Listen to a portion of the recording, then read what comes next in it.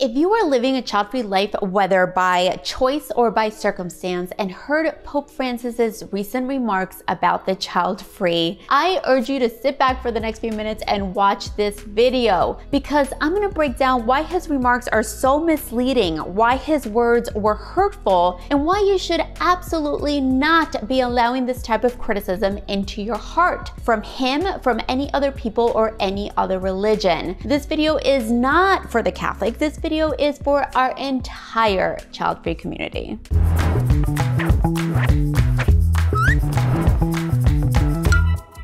Hi friends, welcome to the Child Free Connection. If you're new here, this channel is for inspiration, support, celebration, and education of living child free. And this is exactly why today's video is so important. I'm Veronica, I'm 45 years old, and my partner Rick, who is 50, and I live a happy child free life here in Austin, Texas. Rick is behind the scenes handling the production and today, but he's very passionate about this topic as well. In addition to making content here on YouTube, we also spend a lot of time on our Instagram page, so definitely follow us there if you haven't done so because we cover a bunch of child-free topics there too. If joining our community is something that piques your interest, please take a moment to like this video, click the subscribe button and hit the bell so that you get notified each time we release new content. Rick and I just got home from an 18 hour drive from Florida where we were visiting my mom from the holidays. So I did have some time to reflect on the Pope's comments and hopefully,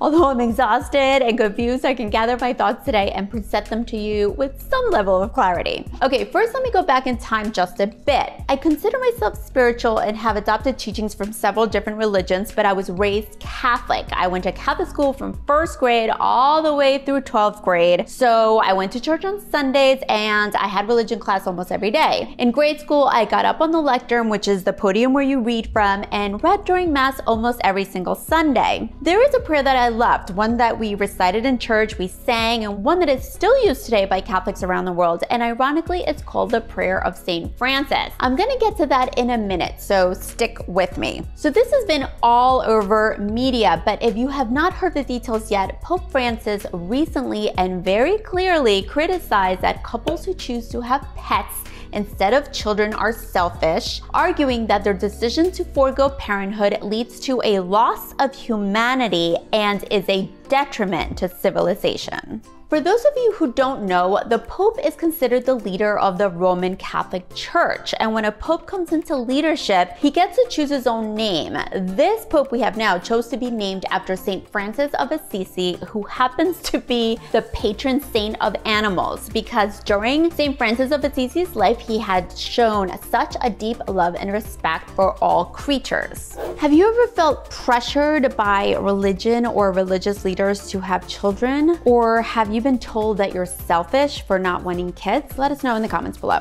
Okay, so setting the irony of the name aside, I would like to use small excerpt from the prayer of St. Francis. This prayer is the one I read every Sunday for my entire childhood. The prayer that the Catholic Church uses daily to explain how we should lead our lives. I'm going to use the words that the Pope and the Church have given us to say over and over again, and I'm going to use those words to explain exactly why the comments that he made make zero sense. Okay, bear with me because this will all come together, I promise. The beginning of the prayer says, and I'm going to paraphrase a bit Lord, make me an instrument of your peace. Where there is hatred, let me sow love. Where there is darkness, light. And where there is sadness, joy. So basically, the leader of the church is telling us to be instruments of peace, to shed light, to give joy and hope, but is taking an entire slice of the population and saying, but this is only deserved for people who have children. The statement that child-free people are a loss of humanity falls under the giant umbrella of assumption. The assumption that having children is the better choice for all, and the assumption that all women can have children. What about the millions of people who have children and are not instruments of peace like the prayer says?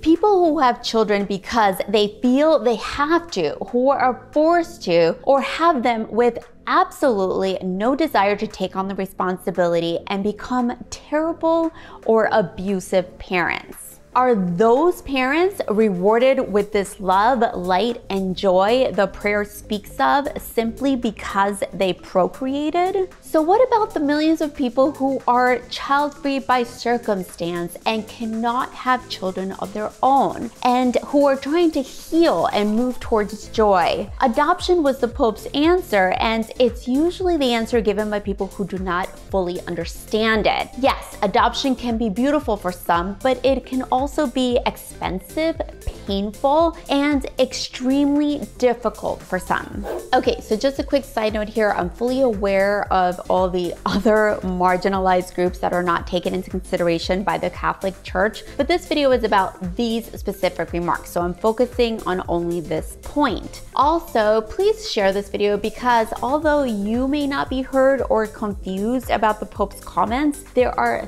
thousands of people out there who are hurting and need to hear some comforting words. The prayer of St. Francis goes on to say, God grant that I may not so much seek to be consoled as to console, to be understood as to understand, and to be loved as to love. What this is saying is that we should focus on consoling, understanding, and loving others rather than focusing on having others console, understand, and love us saying that the child free are a detriment to civilization goes against these very words. You are not consoling, understanding, or loving the child free. You're actually doing the exact opposite. You're judging and pressuring them to do something that falls solely under your own belief system. You are doing the one thing that for me is a clear sign of poor leadership. You're leading with fear rather than with love. Leading with love means taking the time to empathize with people who choose alternative lifestyles than the ones you teach. Leading with love means not turning your back on the truth even when it goes against your own institution. Leading with love means understanding what is best for each and every one of us, not just a slice of the population. Leading with love means being grateful for people who are loving and dedicating their lives to their animals. On the other hand, leading with fear tells people that they are bad if they don't follow your rules, your ways, and puts everyone in the same box.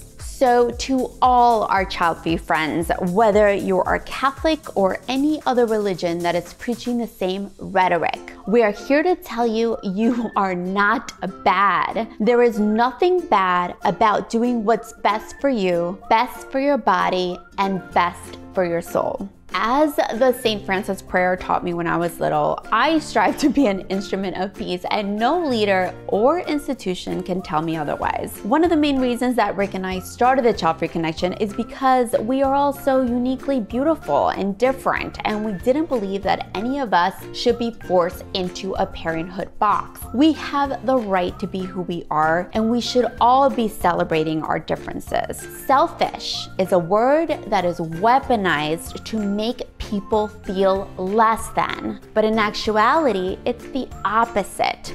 Be selfish, care for yourself, love for yourself, unapologetically continue to care for and love your pets, your plants, and whatever or whoever else you choose to love. We have one life, so choose to live it the way you want. And lastly, please remember that if you are child free by choice or by circumstance, you are absolutely not alone. If you enjoyed hanging out with us today, please don't forget to like this video, subscribe, and hit the bell so you get notified next time we release new content. Also, I'm going to include these two videos here, which I think you will enjoy as well. We thank you, we appreciate you, and we'll see you next week.